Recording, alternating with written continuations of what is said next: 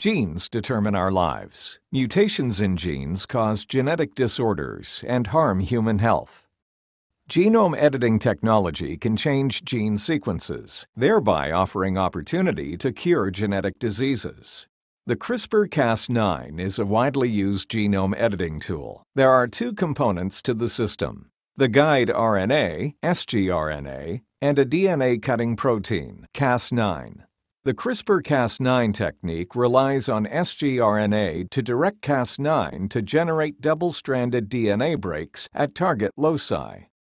If template DNA is provided, the cleaved DNA can be repaired according to the template DNA. This repair is called homology-directed repair, or HDR for short.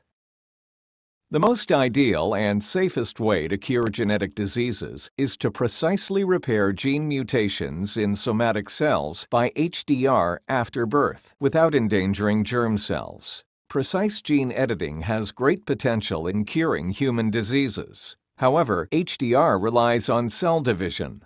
After birth, the cell division ability of many tissues is greatly reduced, which causes the inefficiency of HDR. Therefore, cell division ability greatly limits the HDR application in the treatment of genetic diseases. Improving the efficiency of in vivo HDR becomes the key research question to genome editing and treatment of genetic diseases.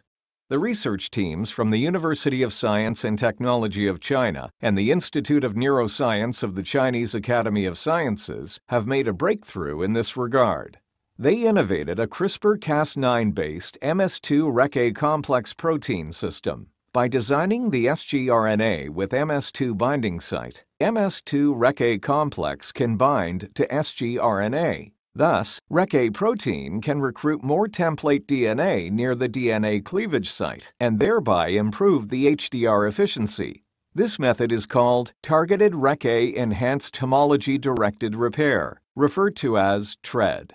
To test the effectiveness of TRED in the treatment of hereditary diseases, the teams applied it to a genetic retinal disease, retinitis pigmentosa.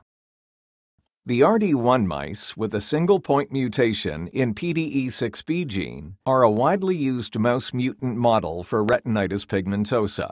The visual function of RD1 mice begins to degenerate 8 to 10 days after birth, and they will eventually become completely blind.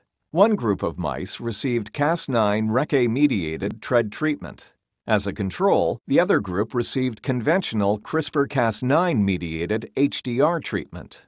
The results indicated that conventional CRISPR-Cas9-mediated HDR treatment did not produce effective gene repair at all, the gene mutation in RD1 mice treated with TRED was precisely repaired. Wild-type proteins were newly expressed, and photoreceptor cells that were originally degraded in the retina had significant survival rate and restored photosensitivity. More than one month after treatment, the pupils of TRED-treated mice can still exhibit a repaired photoreaction.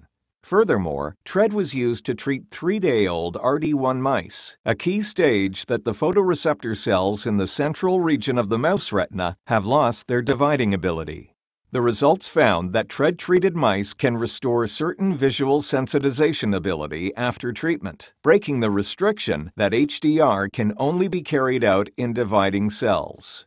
These experiments confirmed that TRED technology made a breakthrough in precise gene editing of non-dividing neurons. In future, this technology will likely bring further opportunities to the treatment of more human genetic diseases.